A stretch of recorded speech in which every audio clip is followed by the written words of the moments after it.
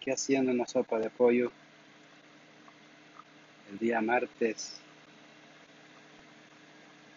14 del 2020 para poder almorzar. Los ingredientes que se pusieron es pollo,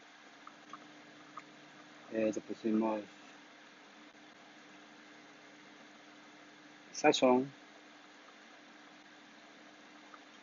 verduras, vegetales, plátano, eh, papa, repollo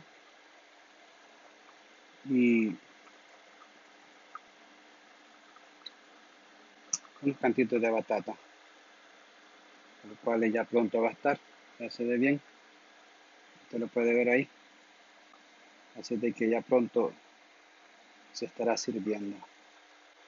Pase buen día, cualquier cosa, y también se le agrega sal al gusto para que quede rica una sopa. Comida saludable, hecha en casa, no hay que ir a comprar afuera, hay que cuidarnos. Y lo que lo hace, pues háganlo con mucho cuidado en estos tiempos que estamos viviendo.